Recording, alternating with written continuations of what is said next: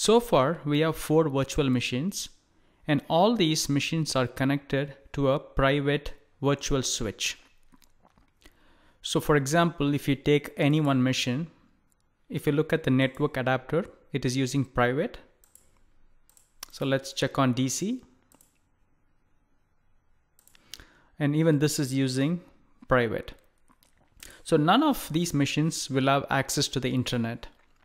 So if you want to play with the system to install a few software, you can just change it to external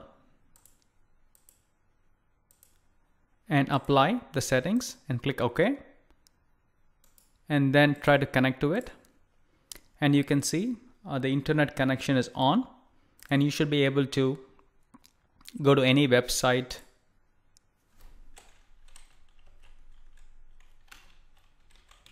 and browse or install tools in this particular virtual machine.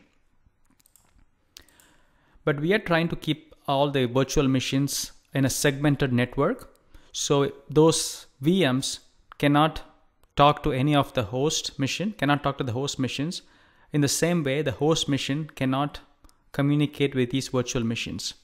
So this way, even if we have a malware or any viruses in any of these devices, it will not affect our host machine.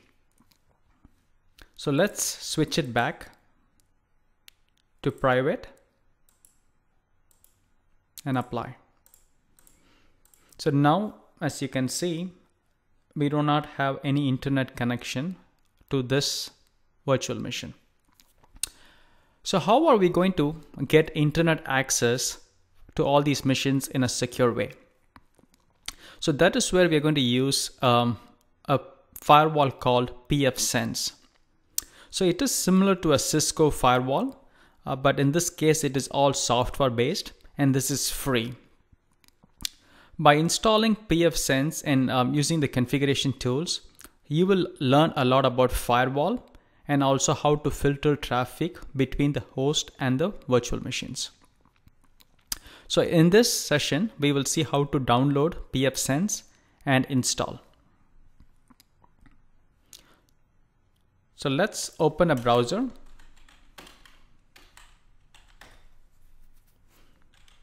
And Google for pfSense. So it is the most uh, trusted open source security software. And this is um, a good place to learn a lot of things. They have training, they have a lot of um, tours available within the site. And you can you can spend some time in this site to learn a lot of things.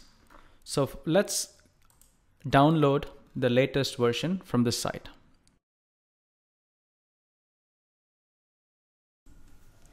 So let's uh, pick uh, the 64-bit version and the CD image and click download. And I have it already downloaded on my system.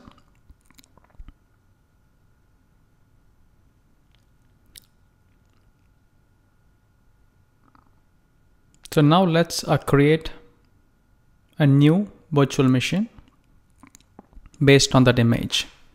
So let's uh, give it a name pfSense and we are going to save it in a different location.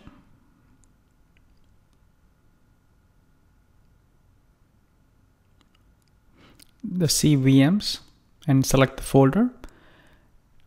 And uh, we will keep it generation 1 and uh, 1, GB, 1 GB should be plenty for this. And uh, we will connect to the external interface or the switch. Let's allocate 20 gigs and uh, click on next. And we will point it to the right ISO location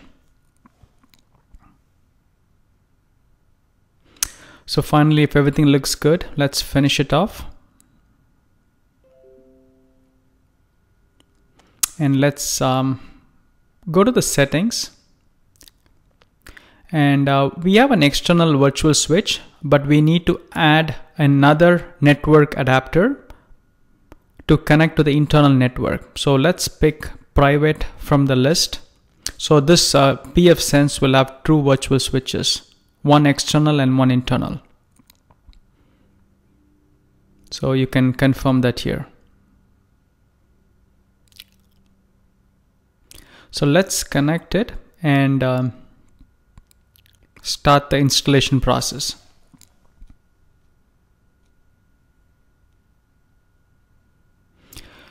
So when it boots, you got to carefully watch the messages. At some point of time, you will see a message called I for installer and you have to press I on your keyboard to start the installation process.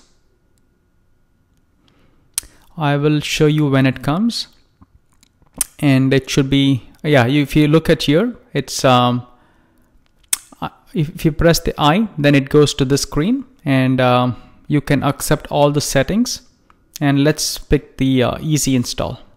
Click OK.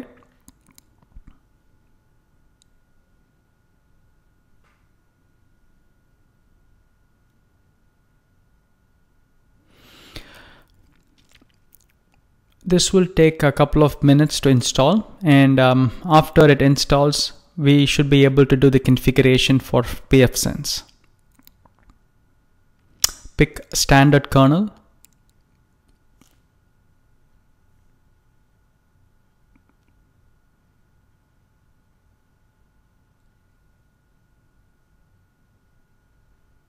and uh, click click on standard kernel and click OK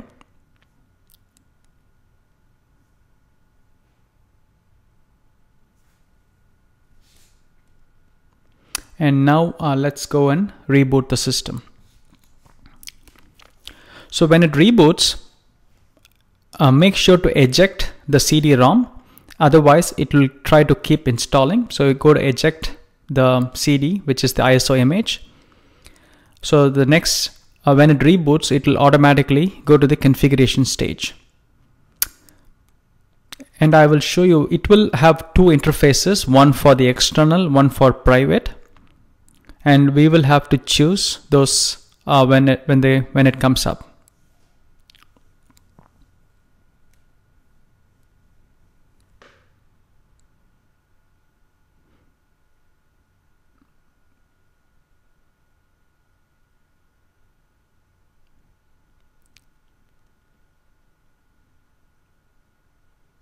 Since the first virtual switch we created was external and the second one is internal, uh, this HN0 should be the external, HN1 should be the internal.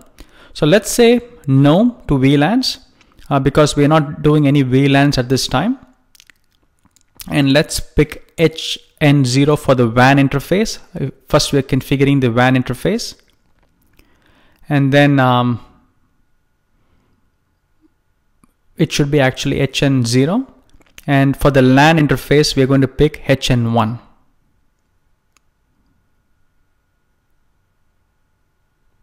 and now we don't have any optional interfaces. Just press enter.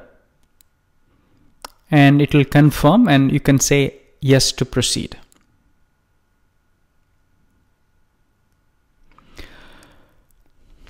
So this is a command line um, operating system and uh, but you will have a web browser. You can go to the administrative interface to make changes. So if you look here, uh, the WAN interface picked an IP from DHCP server uh, from our host system and the internal system by default is configured to this IP range and we can change it uh, but let's keep it um, in the same network for now. So let's go to in, um, item level 7 to see if we can reach the internet. So you can ping cisco.com without any issues. So everything is good on this side. In the next video, we will see how to set it up so that our internal systems can also have internet access.